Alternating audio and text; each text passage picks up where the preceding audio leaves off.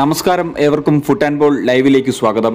ലിവർപൂളിന് വേണ്ടി മികച്ച പ്രകടനം നടത്തുന്ന റൈറ്റ് വിംഗ് ബാക്ക് താരമാണ് ട്രെൻഡ് അലക്സാണ്ടർ അർണോൾഡ്. ഇരുപത്തിയൊന്നുകാരനായ താരം ഇപ്പോൾ ഇംഗ്ലണ്ട് ദേശീയ ടീമിന്റെയും ഒരു അഭിവാജ്യ ഘടകമായി കഴിഞ്ഞു.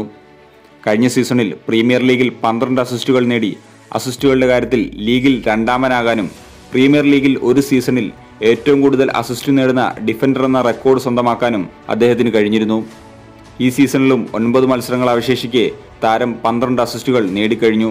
എന്നാലിപ്പോൾ മുൻ England Manchester United right back താരം ഗ്യാരി നെവിൽ അലക്സാണ്ടർ അർണോൾഡിനെ പറ്റി പറയുന്നത് ഇങ്ങനെ.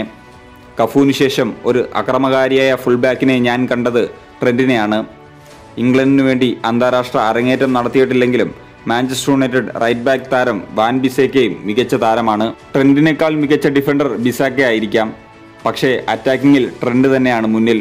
അത് വളരെ പ്രധാനപ്പെട്ടതാണ്.